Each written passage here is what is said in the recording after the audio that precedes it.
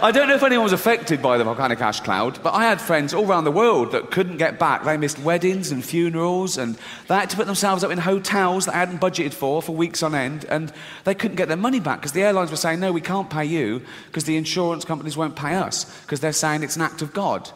What, what isn't an act of God?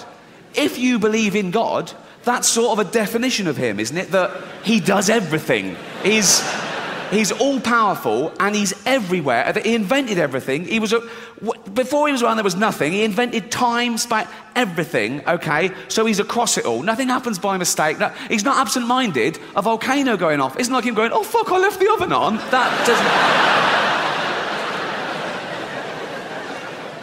I know these insurance companies that know what is and isn't an act of God. How do they decide? Have, have, they, have, they, got a hotline to God? They call God up, do they? And go, ring, ring.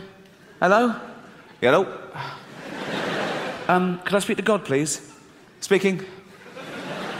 Oh, what? I didn't think you'd answer the phone yourself. what do you want? Um, sorry, that volcanic ash cloud, was that you? Yeah. Yeah. Oh, yeah, that was an act of me, all right. so I shouldn't pay out. Don't fucking pay in a penny, son, no. oh, cheers.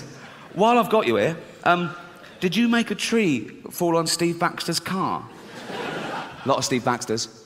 Um, to Acacia Road, Hounslow. It happened on the 3rd of June, 2.15. 3rd of June, 2.15. No, that wasn't me. I was in Africa then, giving AIDS to babies.